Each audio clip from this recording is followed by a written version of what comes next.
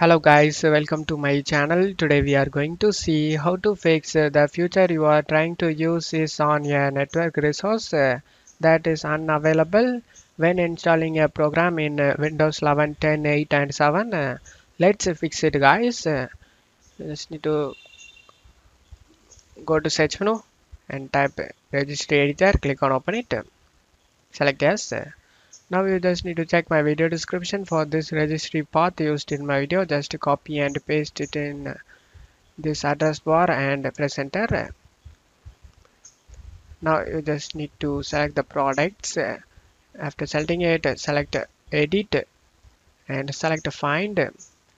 In find what you just need to type the installation package next to quotation mark words.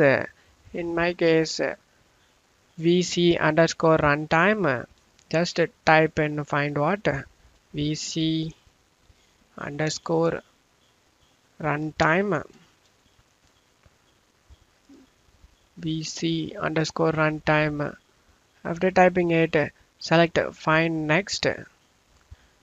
And now you can able to see the words in data as it's shown now you just need to right click on the key from the left side and select delete it. I suggest you to pack up registry editor before deleting anything. You just need to check my video description for this link used in my video. Select the link and I will share a video about how to pack up and restore the registry.